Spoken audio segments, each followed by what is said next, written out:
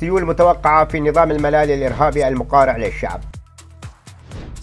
سيول متوقعة تجتاح مدن وقرى إيران. في ظل عدم وجود مساعدة من النظام الملالي العائد إلى العصر الحجري الذي دمر جميع البنى التحتية في البلاد على مدى السنوات الأربعين الماضية يحاول الآن الشعب الإيراني الأعزل باستخدام مجارف وأكياس من الرمل أن يواجه السيول والفيضانات بينما وفقا لمحافظ بولستان يقضي مئات من كبار المسؤولين في نظام الملالي بمرافقة عائلاتهم في أوروبا عطلة العيد. وفقا لإحصائيات الأولية لهذه الكارثة الوطنية لقي المئات من أبناء وطننا مصرعهم وخلفت الكارثة آلاف من الجرحى والمفقودين. بعد بولستان ومازندران اجتاحت السيول في الخطوة الثانية مدن شيراز وخرماباد وقصر شيرين وعبادان والعديد من مدن كرمانشاه وخراسان الشمالية وتهدد ما مجمله 27 محافظة من أصل 31 محافظة في البلاد. والآن طهران في حالة التأهب وهي مدينة ليس لديها بنية تحتية مناسبة ولا دفاع مدني. أعربت مريم رجوي عن خالص تعازيها وتعاطفها لذوي ضحايا الكارثة خاصة في شيراز وغيرها من المناطق المنكوبة بالسيول والفيضانات. وقد دعت الشباب الغيارى في جميع أنحاء البلاد إلى إيقاد نشط لضحايا السيول والفيضانات في فارس ولورستان وخوزستان وسيستان وبلوشستان وإيلام وقوم وكرمانشاه وگلستان وأجزاء أخرى من البلاد. وأضافت السيدة مريم رجوي أن النظام الملالي وقادته الفاسدين وقوات الحرس قد دمروا البيئة وتسببوا في تشديد آثار هذا السيل المدمر من جهة ومن جهة أخرى. قد نهبوا أموال المواطنين وهدرها في القمع والإرهاب